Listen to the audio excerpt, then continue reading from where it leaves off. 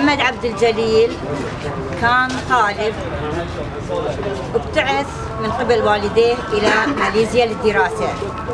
قبل الأحداث بحوالي ستة شهور.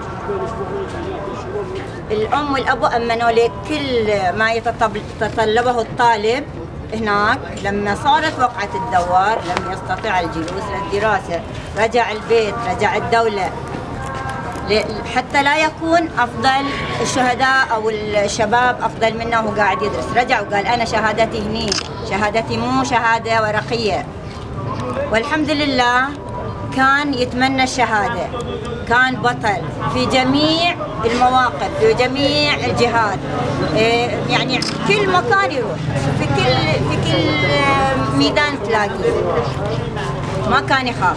هذا الشعار صمم وأخذ من نقش خاتم السيدة فاطمة الزهراء عليها السلام. نقش خاتمها أمين المتوكلون. صمم وقصص ووزع على الأحرار.